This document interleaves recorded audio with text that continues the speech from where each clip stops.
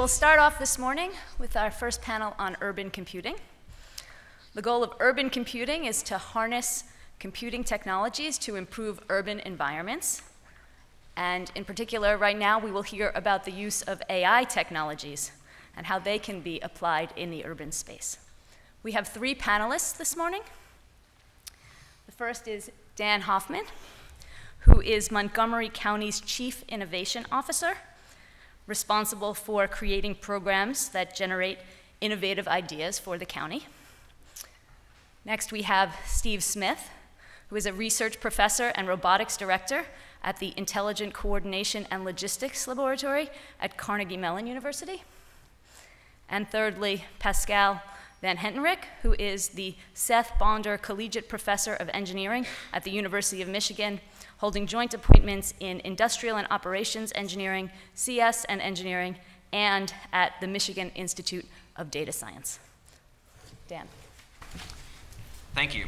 I don't have any slides. I'm just going to speak to a few points that I think are relevant. Uh, you might have noticed looking at the agenda, I'm one of the few um, local jurisdictions. We have a, a, lot of great talent from university. So I'm going to focus my uh, comments uh, mainly on what we're seeing in terms of the day-to-day -day governance aspects of these issues, some early deployments, and some of the ramifications that we uh, will see in the next uh, 5, 10, 20 years. But first, I'm going to, for those of you especially who are from out of town, I'm going to give a very brief introduction to Montgomery County, Maryland, which is just to the north of here um, and why um, a county is up on the stage and why it's uh, very analogous to a lot of the city use cases that you might see. So Montgomery County, we're one of 20 some odd counties, Montgomery counties spread across the country. We're just over a million people. Uh, we have a $5 billion budget, about 500 square miles of land. Uh, we are very diverse. We have urban, suburban, and rural built environments. Uh, we are very analogous to what you might find in a Charlotte or a Cleveland, uh, Pittsburgh, even in some cases. Um, but we just have a different uh, built environment pattern. And what I do for Montgomery County, I work for the county executive. Uh, I run the innovation program, which really uh, for us is the civic R&D lab. It's where we uh, pilot, prototype, proof of concept different projects. We operate what we call the Thingstitute, our Internet of Things lab. Uh, where we partner with uh, private companies, startups, uh, and the federal government. The National Science Foundation uh, has been a strong partner. NIST has been a strong partner. White House OSTP has been a strong partner. Uh, and what we do is we establish test beds in those real world environments. Already you've heard this morning the difference between the lab environment, theoretical uh, solutions and how does something operate in the real world. Uh, Montgomery County has a fleet of buses. We have police cars. We have libraries. We have social workers. We have correctional facilities. Uh, those are all uh, public infrastructure, public institutions that we open up for, for testing. So uh, as a quick pitch, if you are looking to uh, operate some type of research project and you're looking for a willing partner, feel free to reach out to me. Uh, and that built environment, I think, gives you almost the, uh, the, the, Pleasantville of research, oper, uh, research opportunities. Um, because we do have an urban environment in Silver Spring and Bethesda that's, that's relatively dense, dense as many cities.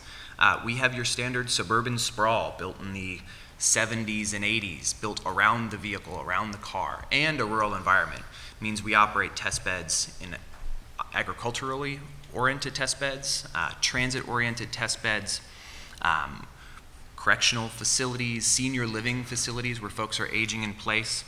Um, and what we're beginning to see is that the, at the moment, uh, the technology isn't necessarily the issue for us.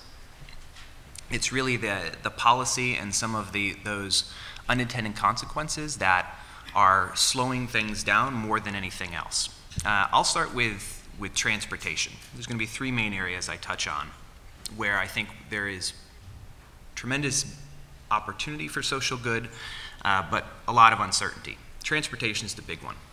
I think you're going to hear a lot about that uh, throughout the course of the day. Uh, autonomous V2V, V2I will change almost all aspects of governance. Uh, but how do they really impact uh, public transportation, for example? We invest in Montgomery County in particular, we invest a significant amount in public transit. Uh, you probably are also well aware of uh, the challenges of the Washington Metro system as well, but we operate a, a public bus fleet. And what will an autonomous bus mean to residents? Uh, really, this, the AI for social good in my world means the interface between people and their government. What does it mean for a resident to get on a, an autonomous bus? The barrier to entry for someone to get into an autonomous taxi or an autonomous Uber is a lot lower than potentially a bus. Uh, what is the social compact between uh, the government and its residents when they're getting on one of our buses with 40 or 50 other uh, neighbors of theirs uh, on that bus? What does that mean for acceptance? What does that mean for adoption? Uh, and when we do buy buses or build bridges or build parking garages, what does that mean for retrofit?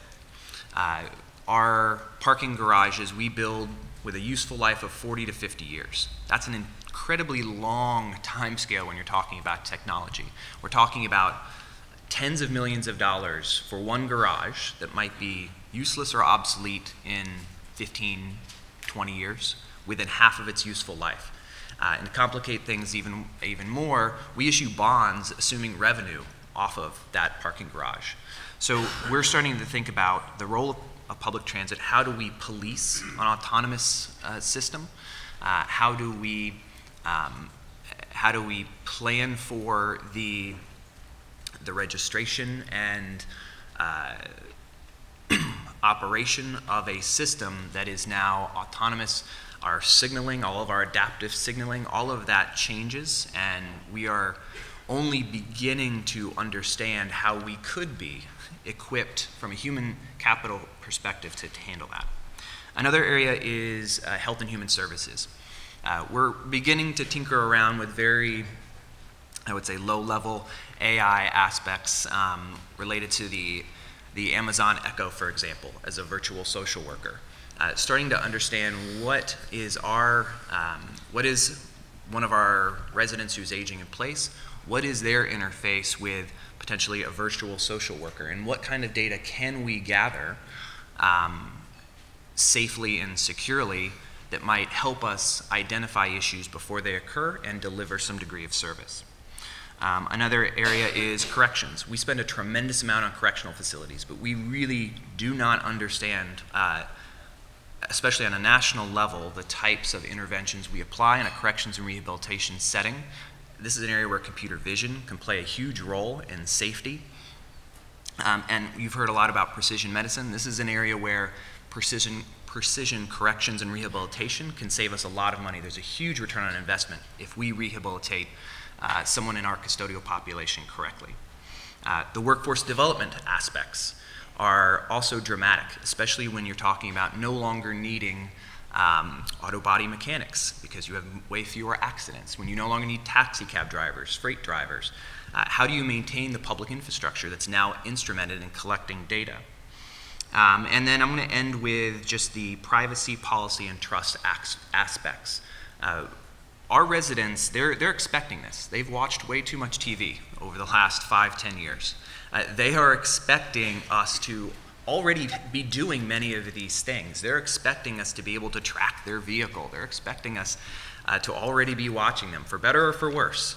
Um, and I think unless we can understand what data is truly sensitive and what the policies and procedures need to be put in place to correctly access that data so we can get the right data to a firefighter on his way to an incident, so that we can identify uh, a vehicle in the transportation system that might have abducted a child.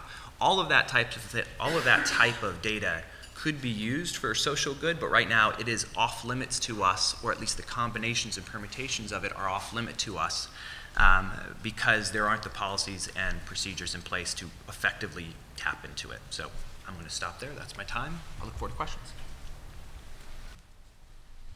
Me? Okay. uh,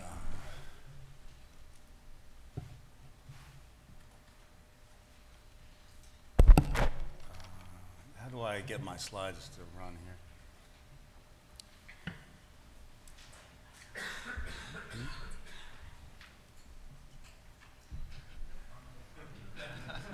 This is the agenda, I guess. right?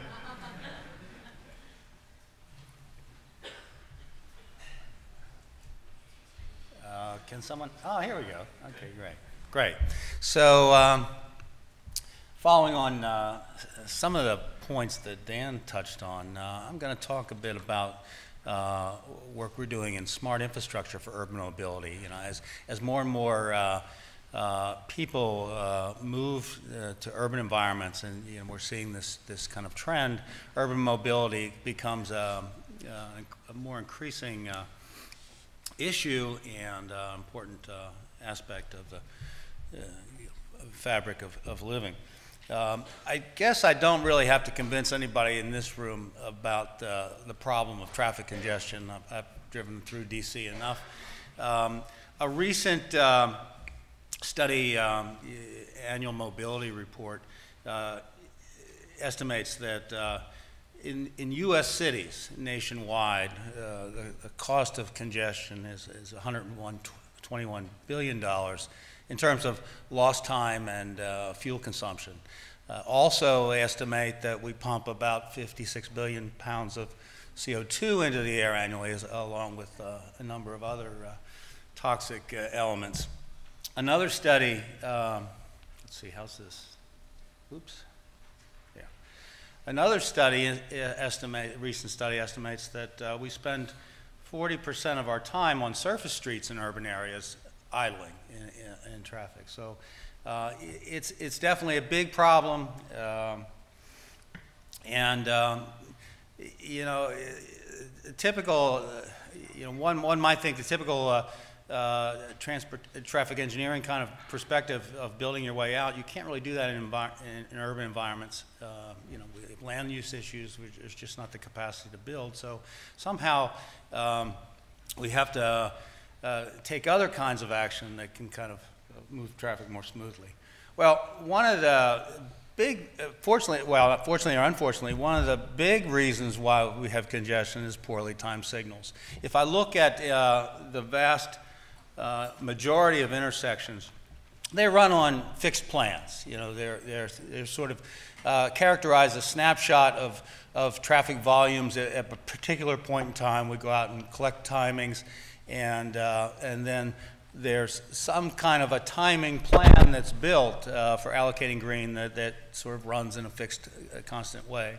Uh, so these, these capture average conditions, um, and, and these change sort of dynamically uh, and begin to evolve as soon as these plans are put into place. So they begin aging.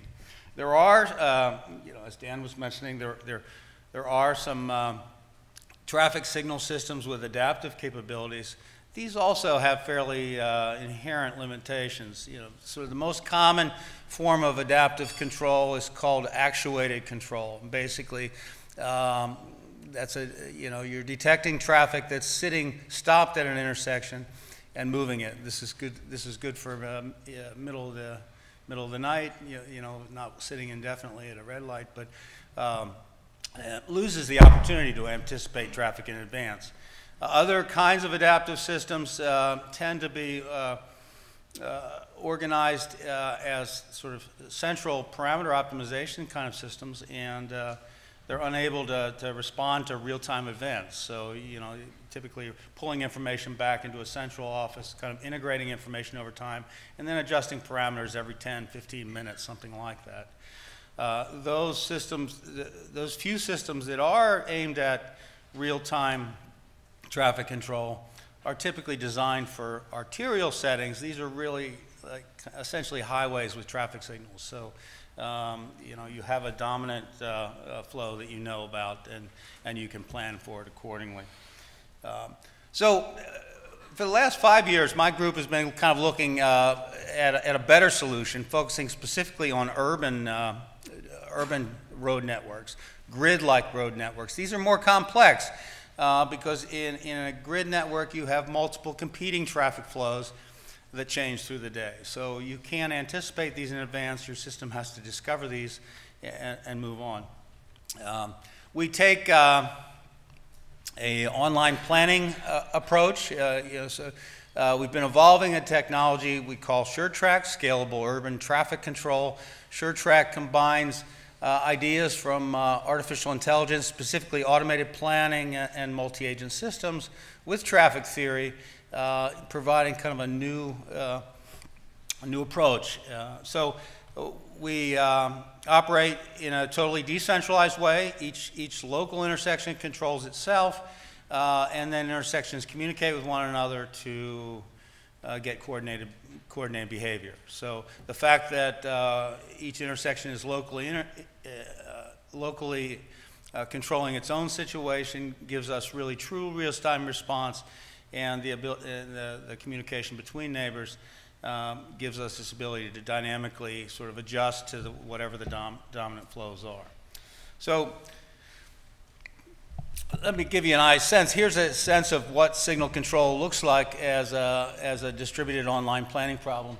Here, um, we actually put uh, computing power at the intersection. We put uh, what is called an intersection scheduler there.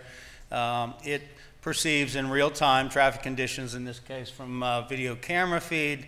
Uh, and then that, that, that's, that scheduler uh, in real time computes uh, a timing plan, uh, a plan for allocating green to different approaches, and then starts to execute that plan, starts to send commands to the actual hardware controller, that's the physical device that runs the traffic lights. At the same time, it communicates what now it expects to be sending, its outflows, it, uh, what it expects to be sending to its downstream neighbors, its, its downstream neighbors doing the same thing. It's computing its local plan, but now it has an expectation of um, what's coming behind the, the vehicles or the traffic that it can actually see through its sensors. So it can plan with a longer horizon.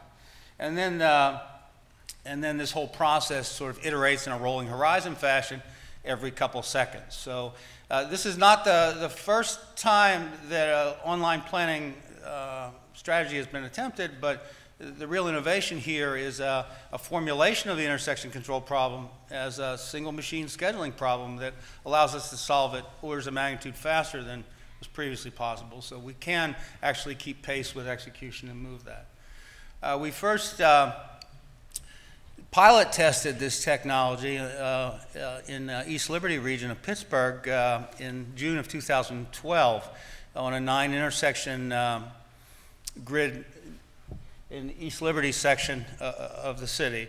There are really three dominant flows here. There's the east-west flow you see that on, on Penn Avenue moving this way. There's the west to north flow on, on Centre Avenue, and then coming from Shadyside from the bottom up, particularly at PM Rush, there's a third kind of uh, uh, dominant flow. So th- this is the, and you can see that um, uh, the, the results I'm showing here are comparisons that we achieved by sort of doing drive-throughs of, of the highest volume routes in the network, uh, you know, different times of day, different days, with the system turned on and turned off. So this is really a comparison to the pre-existing, uh, pre-existing situation. You can see that we get varying amounts of improvement over different parts of the day, but overall, uh, the improvement is fairly significant. Uh, reduction in travel time, 26 percent. Uh, not so much because vehicles are going faster, that's kind of a typical concern, but, but rather they're, they're waiting and stopping much less frequently. Um, and from an air quality point of view, we're also uh, doing significant reduction uh, in emissions. This uh, system's been operational since June 2012. In uh, November of 13, we sort of did an initial expansion of this network moving east along Penn, uh, the Bakery Square area, this is kind of where uh, local high-tech Google Pittsburgh uh, is starting to emerge.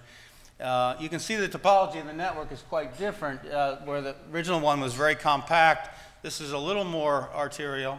Okay. Um, and uh, you can see that we get pretty much the same results.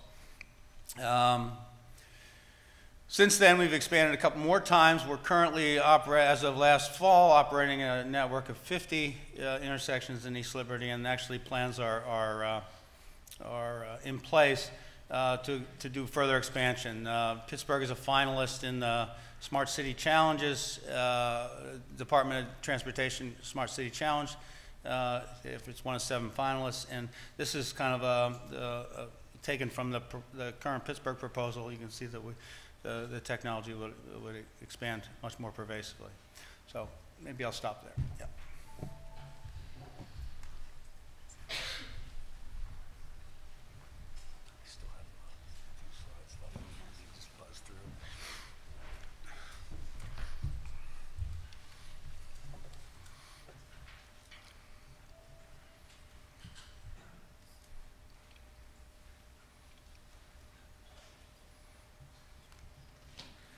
Uh, good morning. So I'm very pleased to be talking about AI for social good today, and I'm going to talk about the, the role of AI in mobility again, like the previous two speakers.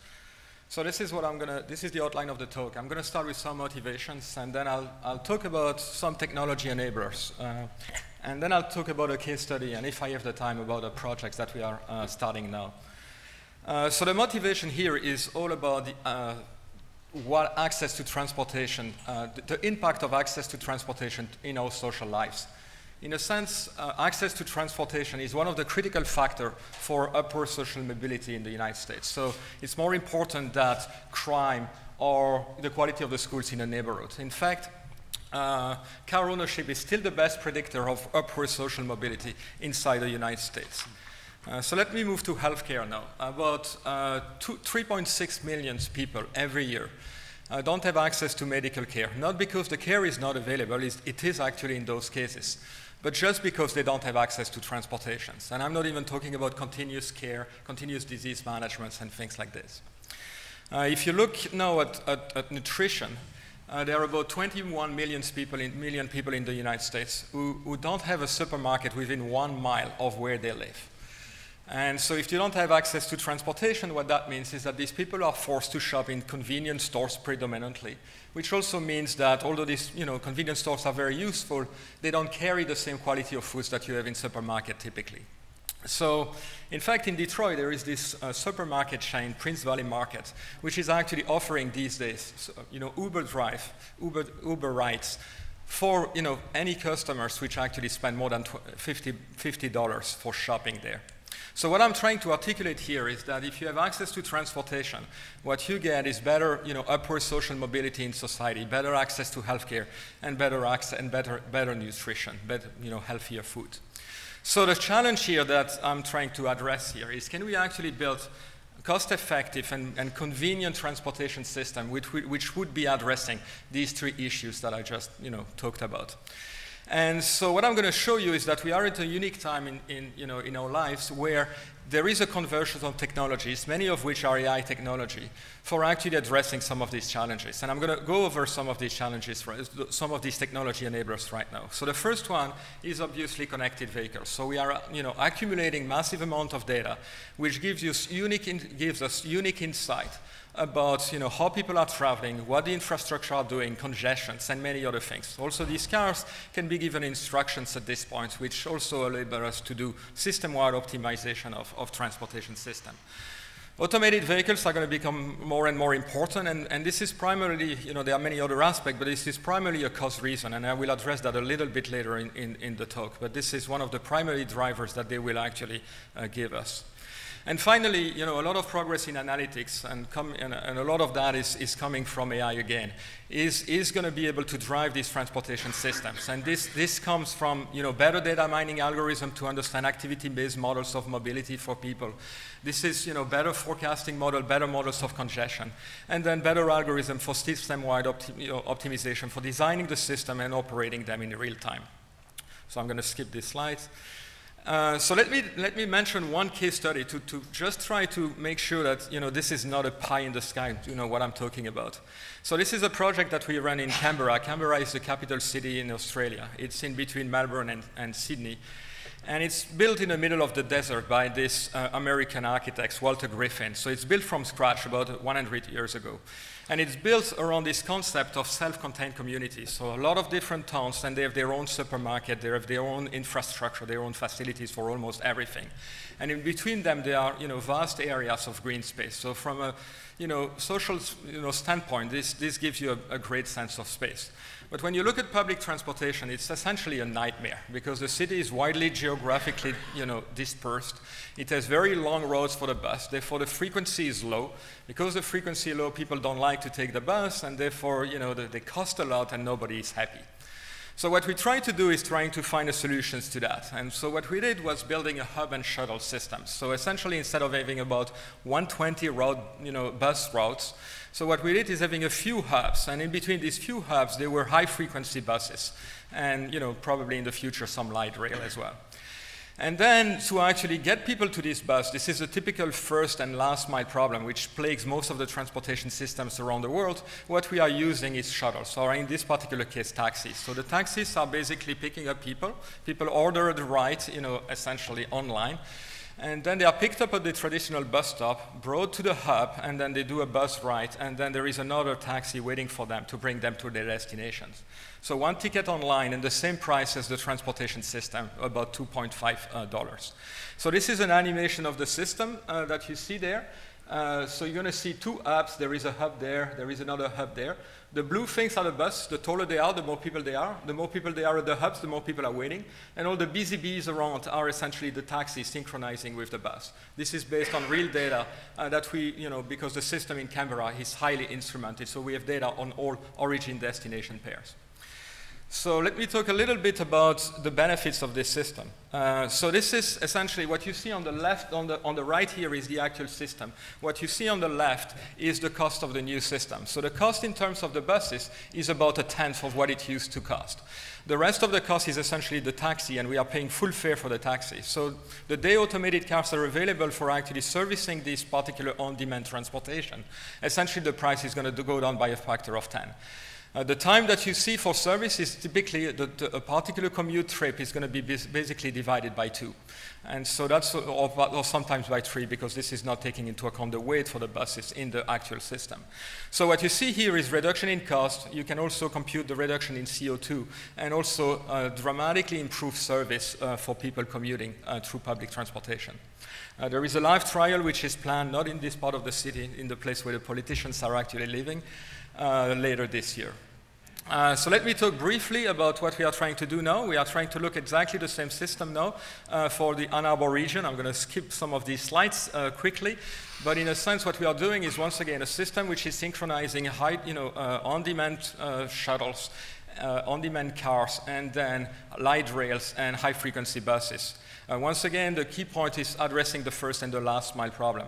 So what you see here, what I'm going to show you here is essentially uh, some of the buses of the city, if, uh, actually in Ann Arbor right now.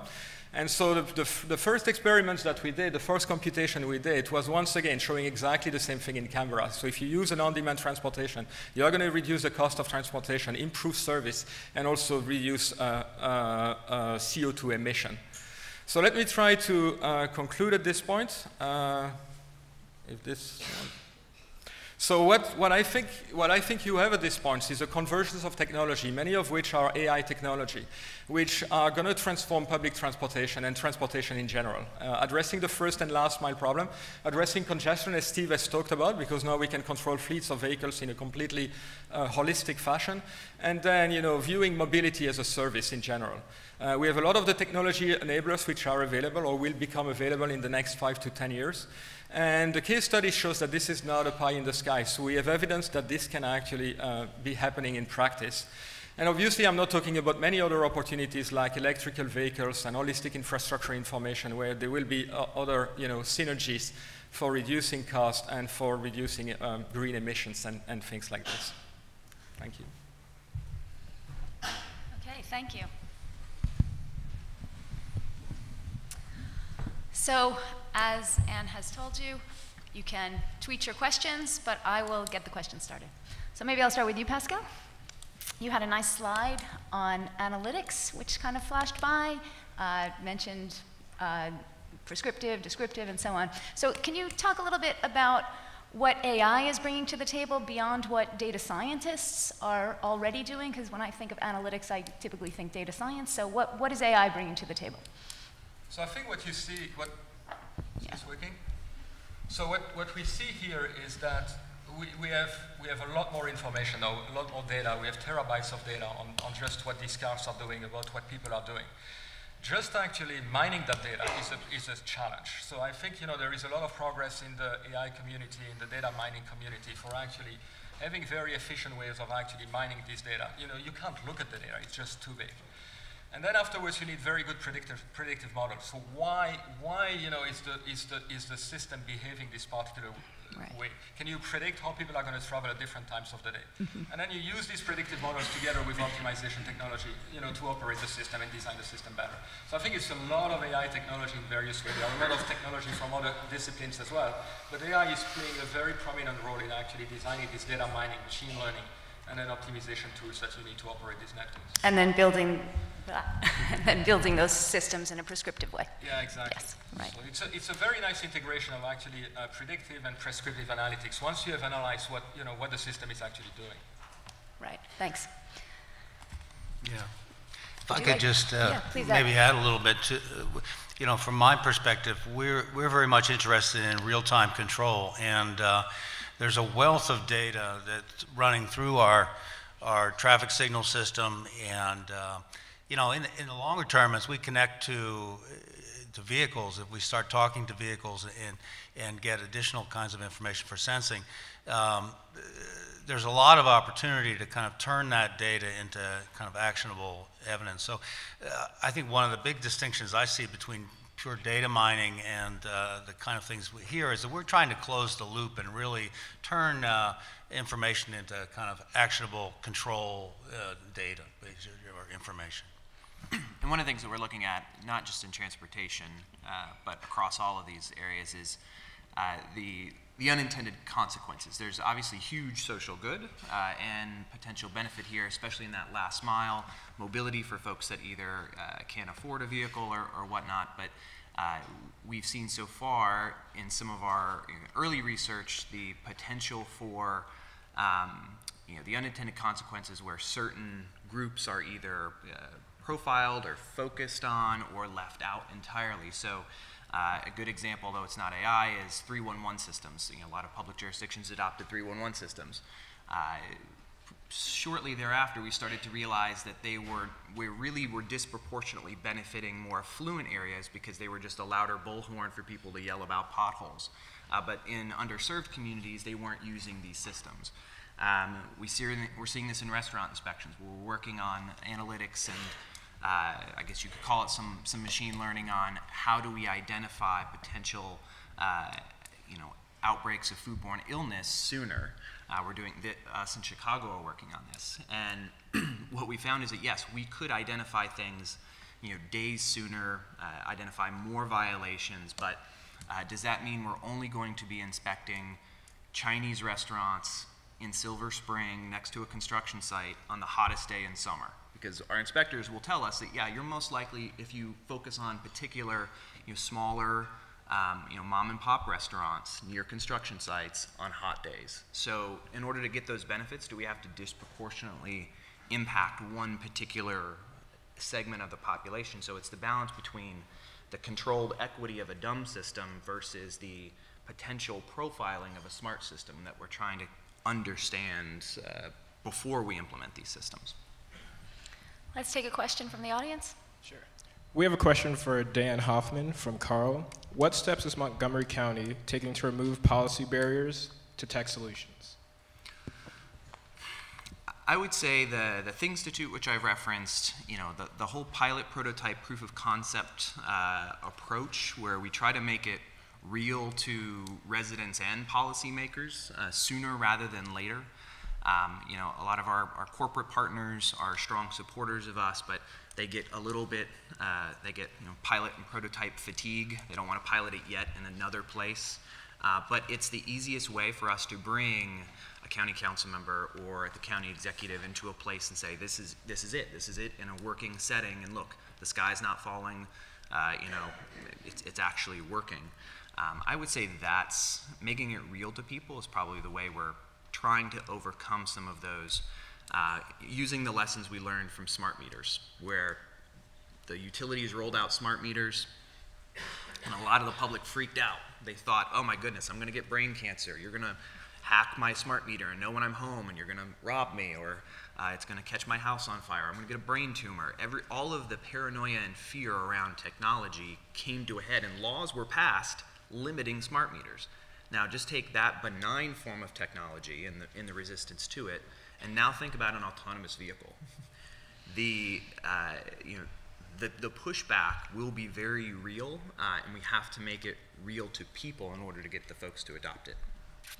I had a question related to that because I think one of the things you said during your talk was that residents are expecting these kinds of technologies and that there will be easy acceptance. So maybe there is some tension there? I, I think you will see it'll eh, there will be um, there will definitely be friction there. I think in the case of autonomous, where you will see folks begin to accept it is uh, when they get off the plane or they get they leave the airport in a new city and they get their first opportunity to take an autonomous taxi.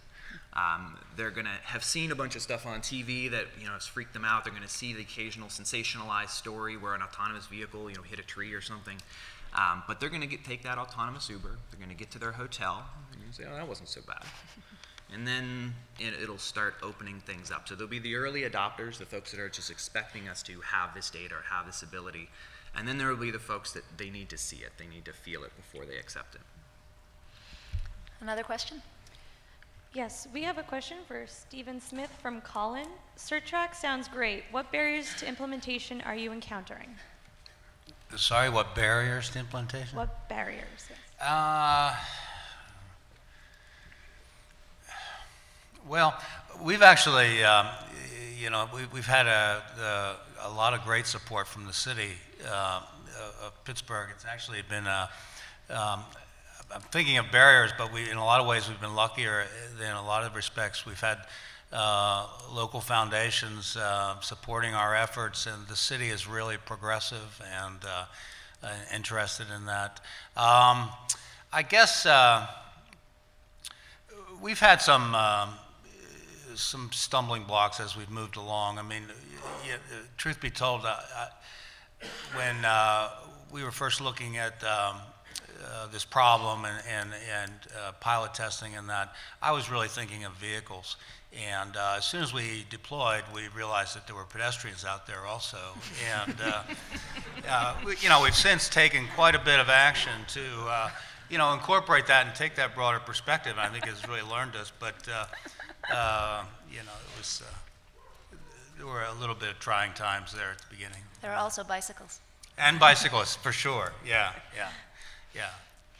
So I have a question for you, Steve, as well. Yeah. Um, which is that you talked or you touched briefly on what new AI technologies have made this all possible, Yeah. online planning and so on. So can you see those technologies being exported to other applications beyond transportation? Well, I think uh, for sure. I mean, we've even done some work in uh, in uh, looking at uh, sort of integrating uh, you know, like sort of taxi services with uh, transit and, and, things of that nature. Uh, um, in general, you know, my group works on core technology, so I'm going to say it's applicable widely, right? Uh, well, maybe um, what's the next application? well, the next step, that what we've been focused on for the last year or so has really been taking advantage of the additional kind of sensing information that we can anticipate coming from connected vehicle technology. So, um, you know, that, that gives uh, the ability to talk with the vehicles. You know, obviously the first idea is safety there, but uh, we're very interested in the mobility enhancements that we can, can get out of, um, uh, you know, out of this extra information. So to give you a, a simple example of a, a, recent result we've gotten uh, in simulation at this point, but suppose, um, suppose a connected vehicle is willing to tell the intersection its route. You know, every, you know, a lot of people travel with navigation devices now. It could be an easily automated kind of thing. You just pump your route to the intersection. Well, we can show that, uh, you know, if, it, uh, if a connected vehicle will communicate that route information, we can not only we can give great benefit in terms of expediting that vehicle through the network, uh, get through a lot faster than otherwise. And, and, actually, it happens without any adverse effect because, you know, it, it sounds maybe counterintuitive, but it's, it's really quite simple. You, you're giving the, the system more information to work with. Now I don't have to guess if you're going to turn left or go straight. I know where you're going to go, so I can I can fold that into the optimization and, and uh, take advantage of that. And so, um, you know, so there are lots of opportunities like that uh, for, for additional kind of coordination and, and, and uh, optimization of traffic flows uh, with this extra information. Yeah, I think to do that, uh, we're going to have to see more of that intelligence at the edge. Uh, because if, if we have to bring it all back into our central operating processing center where there still ends up being a human having to make some type of decision about the capacity of a certain bus line or whatnot, it's going to, um, it, it, it's not going to make it's not going to have the, the benefits that we think it will have. I mean, a lot of what we're looking at in the county is, you know, the, these systems as almost nervous systems, where if you have, you know, you'll have a faster, just as in your, your body, you'll have a faster reaction if the signal has to travel a shorter distance. And in a county like Montgomery County, uh, where we do have, you know, great coverage for, you know, cellular, great coverage. Uh, we have a fiber network. You know, we're working on gigabit fiber. We're going to have great coverage, but we will still run into the power associated with connecting those things. So being able to um, not have to send all of this back, being able to make a lot of these decisions at the edge without having to um, use you know some big brain somewhere uh, will, I think, be something that benefits us. Yeah, No, I agree with you 100%. You're meant to tweet the questions over.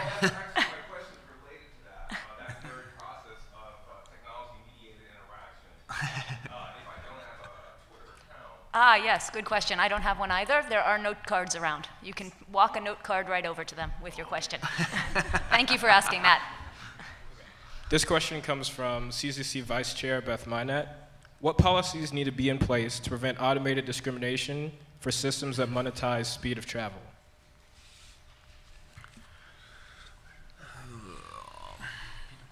Repeat the question. Slowly. What policies need to be in place to prevent automated discrimination for systems that monetize speed of travel? that monetize, Monetize the speed, or- speed, yeah. Or, traffic. Of travel, the speed of travel. More you pay, the faster you get through the city traffic. When you don't have money, you get the city. Well, I saw one of the, uh, I think it was your slide about the $50 free Uber ride if you buy at a grocery store.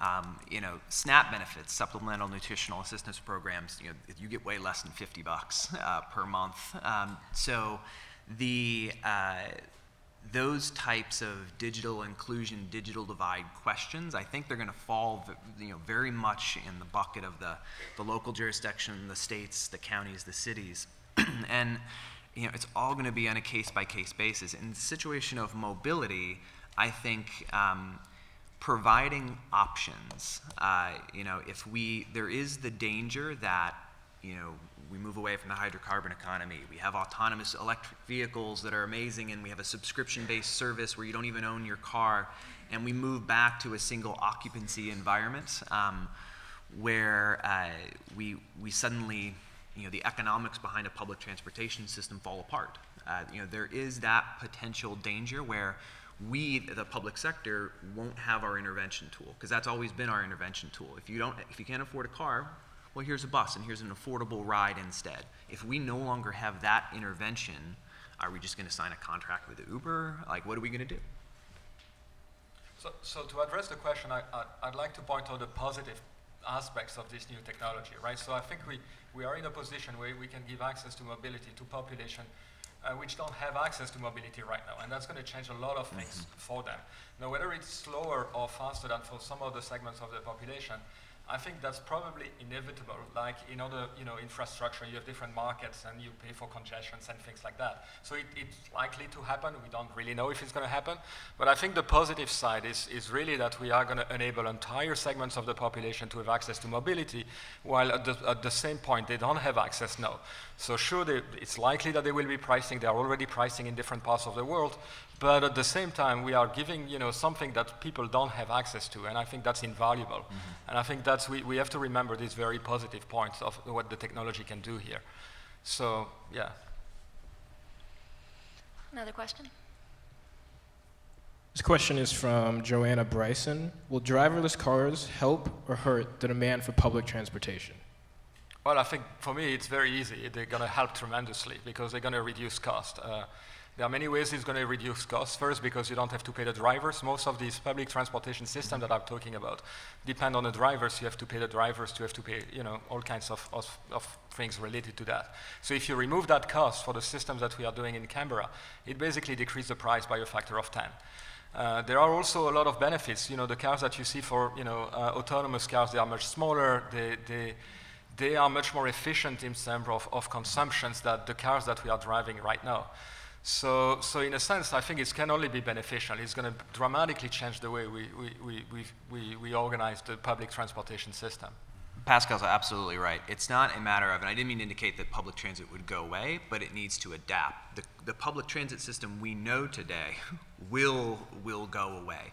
We run buses that have a capacity for 60 folks, and we run them in places like Canberra. We run them in places where we shouldn't run them because that's all we've got to run. Even in Michigan. Exactly. So we've done a lot of research in the last six months specifically on that topic. How does the fleet adapt? Do we go to smaller vehicles? Do we even have bus stops anymore? You know, if we're talking about just running something on a route or in a system that, that anticipates demand even, um, you know, how, how does the public then interact with a place where you don't, there is no stop anymore, you just flag it? Uh, all of those questions are things we're trying to figure out before we build, for example, a, a bus rapid transit system like we're planning now um, without future proofing it first. We have time for one more. Okay, last question. For Dan and Pascal, what nationwide organizations are currently most involved in working on early adoption of shared autonomous vehicle mobility systems in specific local jurisdiction use cases? I'm going to give a quick shout out. Uh, Global Cities Team Challenge. Uh, if, if NIST, if you're a city or university that aren't involved in that, uh, it's a cross segment, so it's not just transportation. Uh, big expo next week. NIST and the White House have been, uh, and US Ignite have been awesome supporters of that initiative. I'll also point out the Metro Lab Network, which is a, a, a consortium of city university partnerships actually sprung out of CMU, uh, and they do have an awesome team in Pittsburgh. Uh, that Metro Lab network, uh, again, kind of announced uh, at the White House with the OSTP's leadership last year. that network of city university partnerships is meant to bring the research you're doing closer to that real world environment. So if you're not involved in one of those, that would be my suggestion. First one is the Global Cities Team Challenge, um, and the second is the Metro Lab Network.